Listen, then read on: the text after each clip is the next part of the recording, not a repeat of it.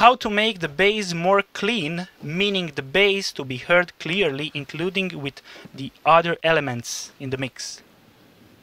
Well, first thing that you should always uh, do with any kind of uh, low end information. Let's start with the basics. Uh, basically, low end uh, bass frequency spectrum takes uh, the biggest portion of the whole dynamic space available. So, uh, when you are dealing with uh, bass heavy sounds, you have to have them under control and they have to consume only the amount of energy that it's basically just needed for them. Meaning that uh, in my way of working, I extensively use high pass uh, and low pass filters, and this is one of the things that needs to be done first. So with bass sounds, uh, you have to cut everything below a specific frequency, and this frequency is usually directly related to the key of the song, meaning that if the song is in the C, there is a big chance uh, you will not need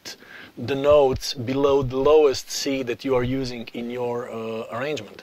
So how do you do that? Uh, the easiest way is to use a resonant uh, high pass filter which will give you an option to do a slight boost uh, at a specific frequency.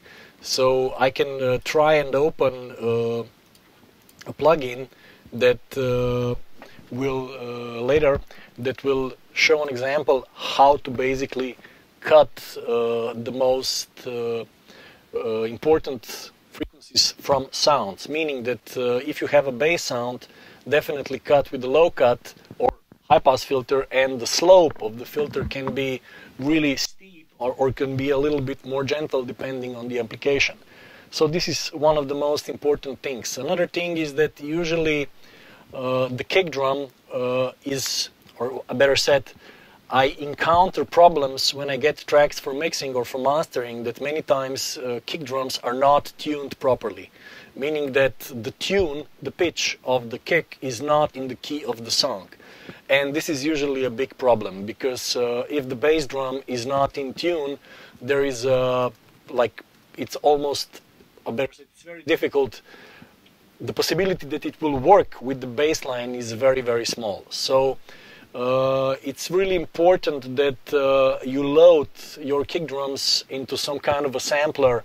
I use battery or Maschine, but you can use whatever, uh, or you can use a software synth or an analog synth, whatever, and tune the kick uh, to the pitch of the song. That doesn't has to be the root key of the song, but any kind of uh, uh, pitch that is in the scale of the song. It is also possible that the kick which is out of scale will sound perfect, but in majority of cases, I dare to say kick has to be in tune uh, with the bass. That's also valid for snares, for hi-hats, for all percussions. Uh, lots, a lot of producers forget uh, that uh, drums also have pitch. And uh, if we go to, let's say, live drum situation, live drummers will always tune their drums before the actual recording or before the actual gig.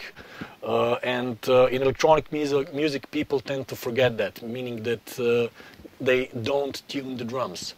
That's one of the techniques, and then is there is like many many others uh, that can be used um, in uh, in uh, this kind of situation. We can have all sorts of sidechain combinations, dynamic high pass filtering, which I will show later and so on. But uh, to start uh, the screen, uh, you can see I opened a DMG Equilibrium, which is my favorite equalizer plugin because I can do any kind of uh, environment. I can open as many bands as I like. I can open as many different types of filters, etc., etc.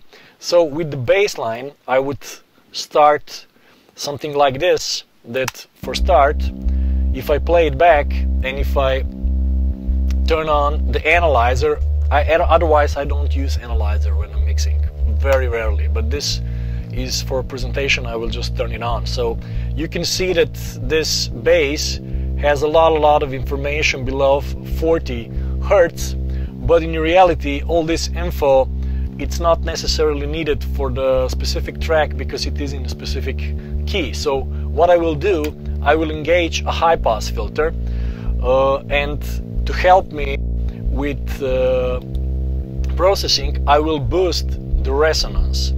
So I can more clearly hear the fundamental note of the bass, or better said, which one is the lowest in the key, and I will listen. In this situation, I can't be so precise because we don't have the time, but I will try to find the fundamental note, and when I will find it, I will reduce the resonance back to its normal or leave it a little bit on. So maybe I will change the slope of the filter and made it a little bit gentler. So I will anyway keep a little bit of those sub-sub informations, but in majority of cases I will use at least 12 dB per octave or up to 24 dB per octave high pass filters. So this is first thing I would definitely do on every bass sound uh, to control its energy and the same process would be repeated uh, on a kick drum. So um, that's basically it. I mean, we will cover those topics more and more because there are many techniques uh, directly related uh, to the uh, processing of low end because personally I think that uh, if you get the low end right it's relatively easy to fix the mid range.